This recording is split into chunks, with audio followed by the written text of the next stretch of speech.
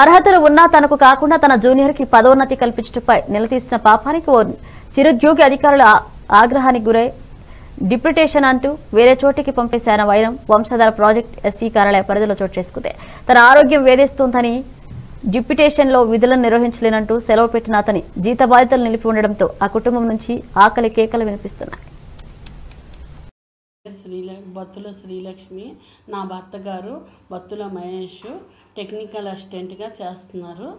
అతనికి ఈ ఈ మధ్యన ఒక మూడు నెలలు గ్యాప్లోని ఇతనికంట సీనియర్ జూనియర్కి ప్రమోషన్ ఇచ్చి ఇతనికంట జీ జూనియర్కి ప్రమోషన్ ఇచ్చేయకుండా అతనికి ఇచ్చి వల్ల మాకు అతను అడిగినందుకు ట్రాన్స్ఫర్ చేసి పలాస టెక్కల్లో వేసారు మాకు మూడు నెలలు అయింది ఏమీ ఆదాయం ఏమీ లేదు.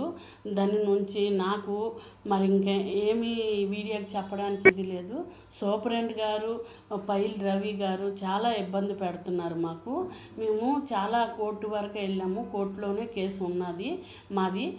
మా వారికి న్యాయం చేయమని వీడియో ద్వారా నా ఇది చెప్పుకుంటున్నాను. ప్రభ ప్రభుత్వానికి నేను చెప్పుకుంటుంది. కలెక్టర్ గారికి దయ దయ ఉంచి నా భర్త గారికి న్యాయం చేయాలి. మరి ఇంకా న్యాయం అవ్వకపోతే నా భర్త గారు నేను మరి ఇంకొక అభ్యంతరం లేదు. నాకు ఇం- నేను చెప్పుకున్నది ఇది.